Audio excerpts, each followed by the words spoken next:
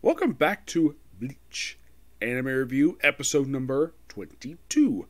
This I'm reviewing the what essentially is the 11th episode of Bleach Thousand Year Blood War, which also happens to be the I mean, the 377 episode series. Excuse me, everything but the rain. This covers chapters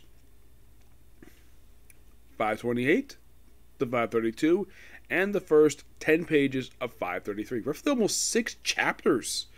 They cover this one episode, which that is shocking to say the least. I'll probably get to it when you get to the final episode how much of this arc they cover in just 13 episodes. It seems like they cover a lot. Yes, a lot. Almost 100 chapters so far. so, in case this episode,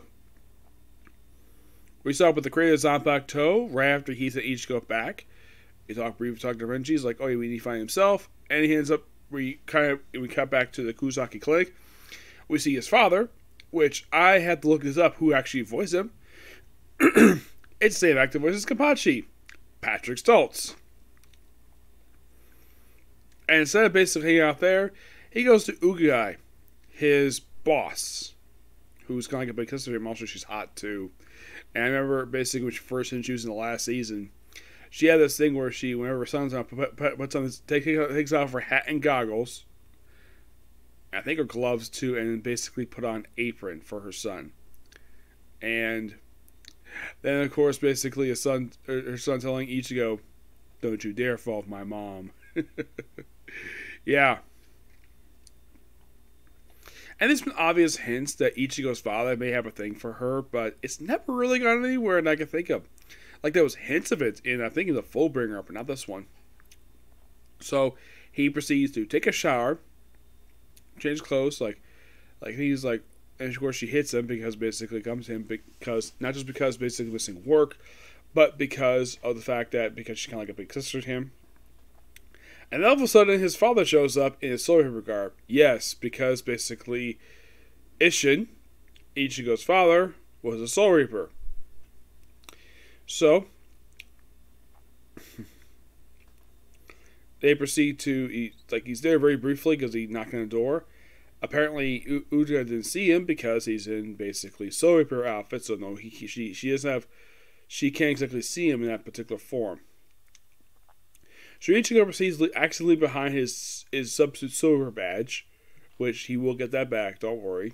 Probably for next episode because I read apparently that happens in 537. So then Ichigo and his father proceed to chat, and Isshin reveals the details of how he met his how he met Ichigo's mother. We see kind of like a bit of flash forward this flashback. We see Isshin lie on the ground bloodied and here comes Ichigo's mother. Yep. And her name was Masaki. Yes. And she's wearing a school uniform. And then we cut back. We go we peel back basically to the beginning of all this. Of course, there is enough cut here, obviously. Probably because basically we, we, we don't be too adult with Bleach, just by making sort of an adult type arc so we find Rangiku. Yes, Rangiku. Who, by the way, I should point out though, in present day, her scarf is around her waist. In the flashback, it's around her neck. If I remember, I think Gin was one gave that to her, if I'm not mistaken. And Gin actually, I think for her, despite the fact he was evil. Yeah. So then, of course, she's lieutenant. And by the way, still Lieutenant Faraday, despite the fact that she's been lieutenant for a long time. Case station out of a tree. Now, in the anime, basically, he basically mentions he broke Mayberg's pelvis. He really didn't. In the manga, she threw a tray at him. And then, of course, he made a comment about her breast. Yes, seriously. He made a comment about her breast being glowing. Yes, implying the fact that he may want to sleep with her because she's hot. But in case you're curious, though, no, this goes absolutely nowhere. Or the fact that years later, the fact that Rangiku would flirt with the with his with her former captain's son. the same man flirted with her years prior. I am not kidding about that because she apparently just did not know that Isshin, her former captain, because he was a captain at this point, he's not captain anymore, would be the father of the guy who basically be the be the big hero of the whole entire series. She had no idea about that, and she flirted with him. Yes, seriously, flirted with a teenage Ichigo, and she is like much older than that, though she has appearance of a woman who is presumably in her early 30s and she's smoking hot. We see a young Toshiro, where he is a third seat, and he goes, he jumps up there. He never becomes lieutenant. He goes there to captain. So I mentioned about the whole thing about that he ate his, well, his motion basically the manga was dumplings.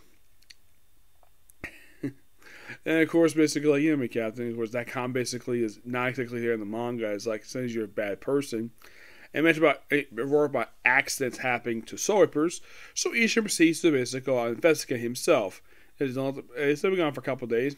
Then we cut to see Sosuke Aizen in a flashback. I kind of forgot he was here in the flashback. I kind of forgot about it. He's there with Gin, and I don't remember the other guy's name who worked with him too. Well, they're starting their experimentation of hollowfication. And of course, basically, Isshin goes to the real world where the server's there. This is not Karakura Town, this is a different place. And I'm like, Captain, what are you doing here? he's like, Oh, I got lost going to the bathroom. That's his excuse for this. Same excuse both in the manga and the anime. And then he proceeds to look around, and of course, there's someone, what are you doing here, Captain? Yeah, apparently these sorper- these sorpers are depicted here as complete idiots. And if you're curious, is it like this in the manga? Yes, it is. These sobers here who are not Asian are complete idiots. Then Isshin is attacked by a, basically someone who was hollowized. Like, oh, yeah, essence of a, of a sword, uh, basically a hollow, but it's black, and using moves of a sorper. Meanwhile, though, before I continue this scene here, I talk about Masaki. She comes home, eats dinner with her aunt, and the fact that she's like the only one there because her parents are dead, and basically her aunt is all about preserving the bloodline of the family. She's so desperate for that. In the manga, I think it was implied that basically Uru's father, man, become Uru's father, was more pushing for that in the manga, and the anime more of his aunt. Then basically, like Isshin is here, and by the way, it, it seems quite strange that the Isshin, Isshin, uh, Uru's father, where of a flashback of present day, he's he's basically has white hair. No explanation for this. Yes, and we see a maid, uh, who, who works with Ish, who works with Uru's father. Now, I think this guy is. I think I'm trying to remember this guy's name. I remember what was Uru's father's name.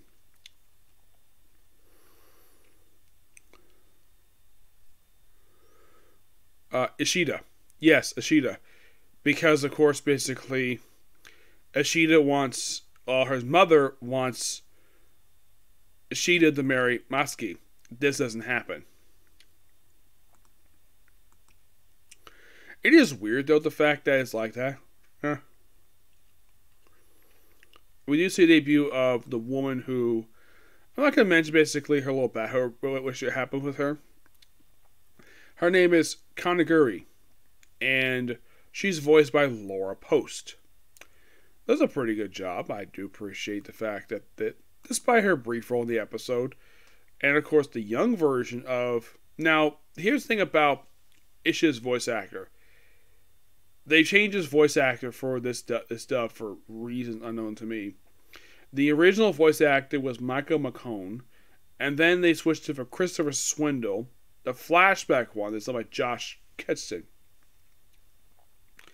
Yeah, sometimes Bleach changes voice actors for absolutely no reason. Oh, by the way, Karakuri, this episode is her pretty much her debut. Yeah, it's her debut. Ishida, not really. As for Ishida's mom, she, of course, her first appearance is voiced by Asin Picard. Yes, that's who voices her in the anime. Oh, it's um Tosin. Yeah, Tosin, that's the guy's name. So apparently it's implied that she does know the fact that that well Isshin's mom wants Masaki and her and him to marry. This is not happening because of Ichigo. So then she some very weird spiritual pressure. Then of course she goes out and of course she's all about protecting herself, like doing the right thing. Then of course calls Kageruyo to go with her.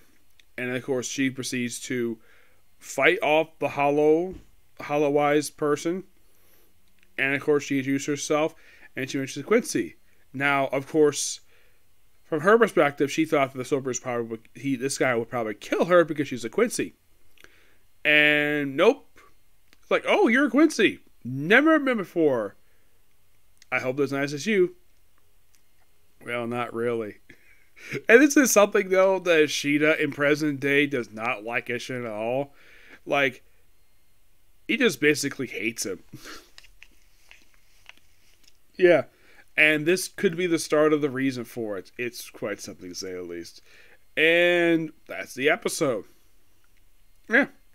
Really good episode. So we have pretty much basically like finishing up this. I have approximately about seven more anime left. So basically during the previous week, this was the last one to cover.